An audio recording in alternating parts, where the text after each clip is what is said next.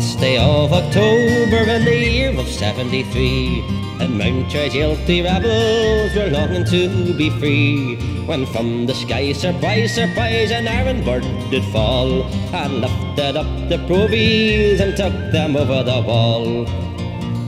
And it's up and up and higher the helicopter flew High over the Dublin spires and over the Liffey too The length and breadth of Ireland, no finer sight to see The day the Provy birdie released a Mountjoy three now the screws were all astounded, they knew not what to do.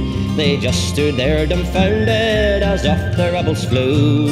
And then the Dáil the traders were shocked and quite aghast when they looked up and noticed the Provies flying fast.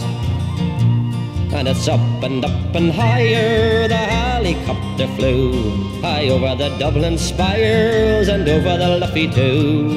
The length and breadth of Ireland, no finer sight to see. The day that Provia Birdie released a Mountjoy three. Oh, Hagan to me, Malin, God bless those gallant three. Cruel Britain, she is furious to see our rebels free. But everywhere in Ireland, whenever the news is heard, the people cheer the Provies and their marvellous flying bird.